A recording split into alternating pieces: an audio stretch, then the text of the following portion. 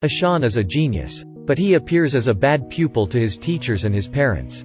Every day, he shows up at his home in a messy look, as if he soaked himself in swam. He even coils the test marked low score and throws for the dog to play. He eats with dirty hands, never obeys his mother, fights with children in his neighborhood. These kids' parents even get familiar with Ashan's parents. But Ashan's brother is entirely different from him. He always ranks first in his class. In class, Ashan unconsciously stares at the puddle. The teacher tells him to read English literature. But he couldn't. So she gets mad and expels him out of class, forces him to stand outside. His mates laugh at him. He drops class, runs away. When he goes back home, he tells his brother. His brother is amazed, and Ashan describes everything that happens. Ashan has a great love for colors. His pictures can make you fall in love in just a second. Ashan studied grade 3 two times. He couldn't write a single word. And this upsets mother a lot, because she didn't know where the problem is, her son or his teacher. The final math exams were delivered. However, Ashan can't focus. He starts to let his imagination goes wild. He thinks of himself being a captain who is completing the missions. While the numbers in the exam turn into planets in the universe. Through all of these images, you can go to the conclusion that he will continue to study grade 3 again. At the same day, his father found a letter of Ashan, he wants to drop school. This drives the father insane. Ashan was honest. He didn't lie. He said he was wandering on the street. His parents care for his safety.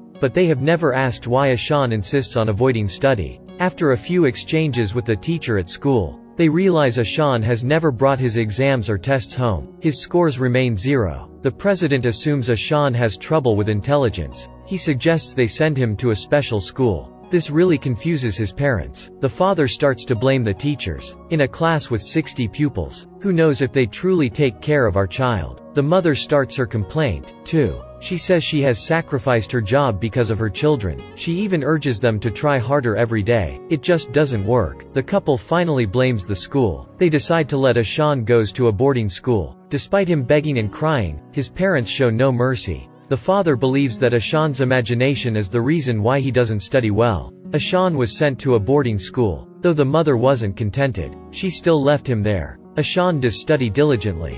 It just that his results aren't as expected. At the boarding school, the eating and sleeping time are put into a strict discipline. No one helps him, so he hides in the bathroom and cries at night.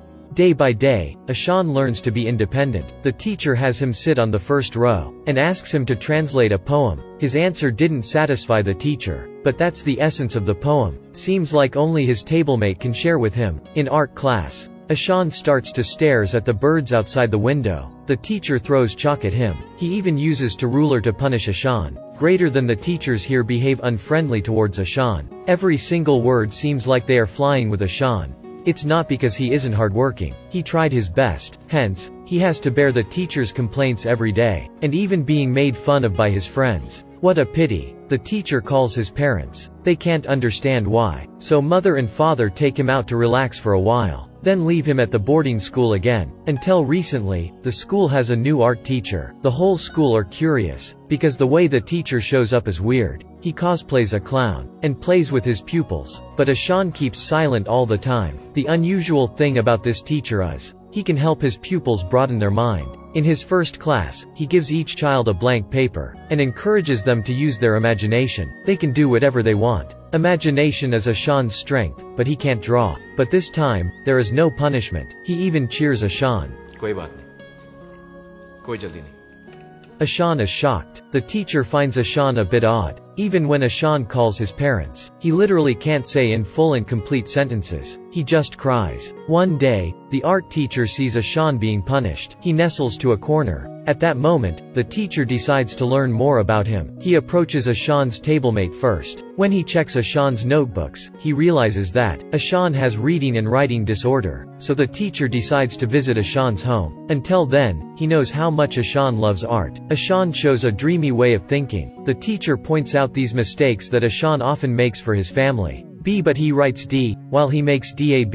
Ashan makes mistakes with the same alphabets. That's as the common symptom of people who have reading and writing disorder. If you can read, you can explain the meaning. The father was enlightened. He feels ashamed. It turns out that Ashan has been painfully suffering from this disorder. He can either button or tie the shoelace himself. He can't grab the ball that his brother throws. He can't even do the smallest thing. Ashan's belief, which was destroyed at the early stage, now gets weaker. Even art, the thing he likes the most, but now he's about to give up. This disorder has nothing to do with IQ. The teachers can tell he's a clever boy when he sees his pictures. He made a decision, he will discover the inner world of Ashan. He tells his pupils the story of a person who has reading and writing disorder. He says that, geniuses like Albert Einstein and Leonardo da Vinci, or Edison, they are all contracted this disorder. He hopes this can comfort Ashan. He admitted he had this disorder when he was young, too. So he shares deep sympathy with Ashan. Ashan is just like his reflect mirror.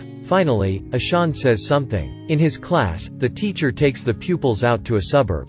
Ashan suddenly comes up with many weird ideas. He uses the small things that he collected, then cover them on a branch and assemble everything to make a little ship that can actually work. The whole class give him a big applause. Ashan is changing. The art teacher even asks the president to have extra classes with Ashan. Under the teacher's guide, Ashan keeps on developing. He can now read and write. Soon, he can absorb the knowledge of grade 3. The teacher tries to exploit Ashan's gifted art talent. One day, the father comes to see the teacher. He is so embarrassed. He admitted he has never genuinely cared for his son. The father cries when he sees what his son has been dealt with all these times. Ashan now can button and tie the shoelace on his own. To prove Ashan's gifted drawing talent, the teacher holds a competition. It's a drawing competition that pupils and teachers can participate. There is an ocean of people at the competition. Time starts. Each person is given a blank and white paper. A painter. Ashan looks chilling. He hides in a corner and starts his work. The colors are different in the eyes of a genius. Ashan draws himself sitting on the lakeshore. The teacher draws a laughing Ashan. After a few discussion of the judges, the winner announced as Ashan. The audience gives him the loudest applause. The teachers are taken aback too. Ashan, with the art teacher's support, he saunters towards the stage. The president rewards Ashan. Afterwards, Ashan rushes towards the art teacher and hugs him tightly. His talent is finally shown. Still the same thing. There is no bad student, only the lousy teacher. Students are like blank papers, while parents and teachers are the ones who decide what to draw on them, to help them to grow, both mentally and physically. Each child is unique, but they all need protection and sympathy.